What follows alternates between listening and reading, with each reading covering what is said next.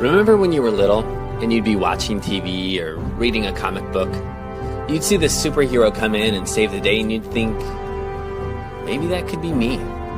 You would grab the nearest blanket, tie it around your neck, and scale to the top of the couch, and for a moment, as you jumped off, it felt real. You felt the clouds rushing through your face, you felt like you could save the world. But then at some point, that vision faded. You got older smarter. You outgrew your costume. But what if? What would it take to transform someone into a superhero? Consider what advice do you have on choosing a name? How about an outfit, a color scheme, a logo? What do you do when someone doesn't have a superpower, like Iron Man or Batman? Any advice on choosing the perfect gadgets? How about the hero's lair? What practical advice can you offer a prospective superhero choosing a city? What kind of transportation should a superhero use?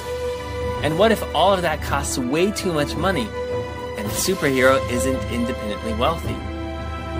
How can a superhero tap into his or her tragic backstory to find strength?